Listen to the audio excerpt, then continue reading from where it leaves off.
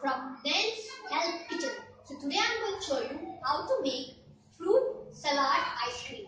So all you need is here I have chopped apples, bananas, mangoes, pineapple and kiwi. You can add any other fruit you like. Here I have some dry fruits, almonds. Here I have some crushes.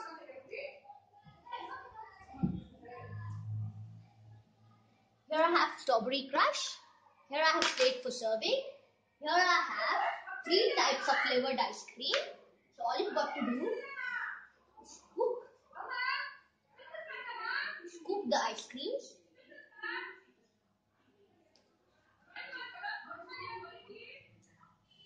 Three colored ice cream. Here I'll be using mango, vanilla and butterscotch. Once you scoop three colored ice cream, all you've got to do is take the fruits, put it all over it. I have mixed kiwi, bananas, apples. I have peeled the apples. Don't put with the peels, it looks indecent and tastes little odd. So add it to the fruits all over. Then what you've got to do is, I've got green apple crush here. Pour it over it in this way.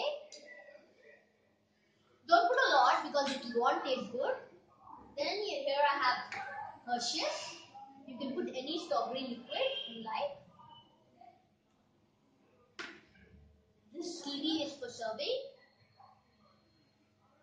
Or you can keep it at the side or in the middle. I'll be keeping it in the middle. Then you have almonds. Put the almonds.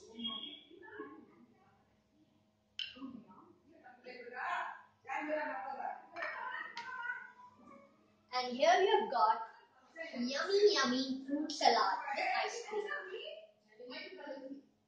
So don't forget